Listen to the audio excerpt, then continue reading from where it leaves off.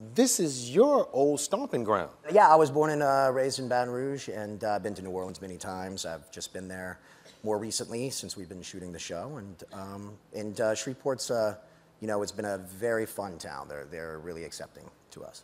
Yeah. Now, when you say fun, what kind of fun do Well, you have? Well, um, they didn't put us in jail. no, we, uh, we, had a, uh, we had an incident where uh, a lot of the cast are, are not from the United States, so they hadn't even been to New Orleans, let alone Shreveport. So Right, I wanted to take them down to New Orleans. We did a road trip. It was six of us in a big car. By the time we got back, we were an hour outside of Shreveport, and we decided to let Janet Montgomery, who's the lead actress on the show, drive.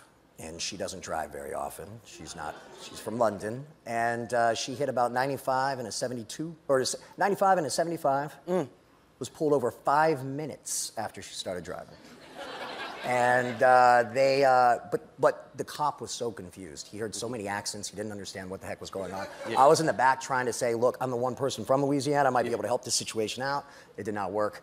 They pulled her out of the car, took her into the cop car, drove her back to the station. We had to drive to get her out.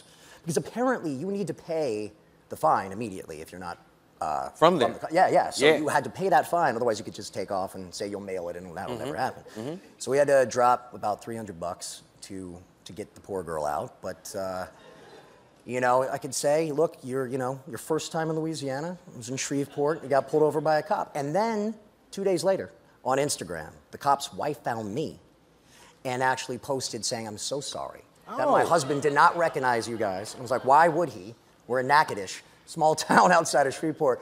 And she said, "But my aunt owns Southern Maid Donuts, which, by the way, I don't know if you know Southern Maid Donuts, but it's they're pretty amazing. They're like That's Krispy like Krispy but Kreme of another region. of another region, and it's phenomenal. And so she said, if you ever want any donuts, it's on the house. But I haven't received any donuts. So oh, because you said yes. I said yes on Instagram. You can find it, Mm-hmm, but she never responded. So I know it's kind of a bitter ending to that story, but maybe this will help out.